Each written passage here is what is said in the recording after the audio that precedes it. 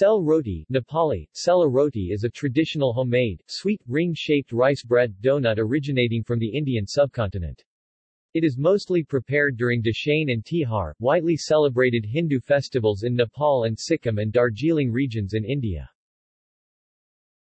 Preparation and ingredients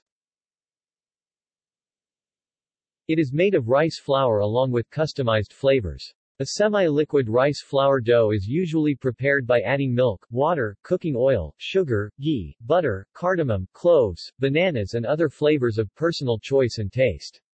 The ingredients are mixed well by stirring. Once the semi-liquid dough is ready, it is deep-fried in boiling oil or ghee.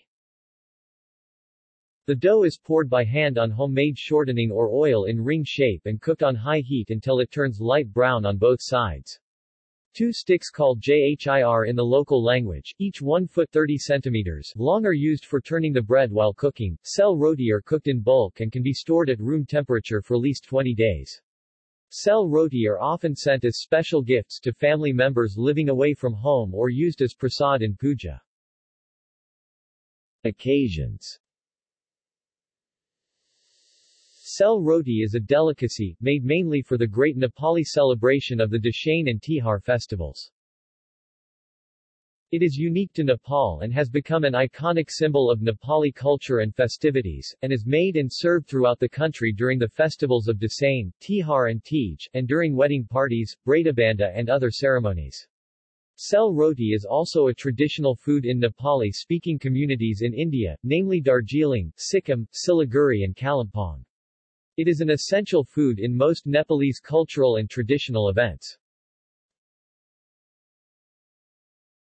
Gallery. See also. List of donut varieties. List of fried dough varieties. Food portal. References External links. Media related to Sel Roti at Wikimedia Commons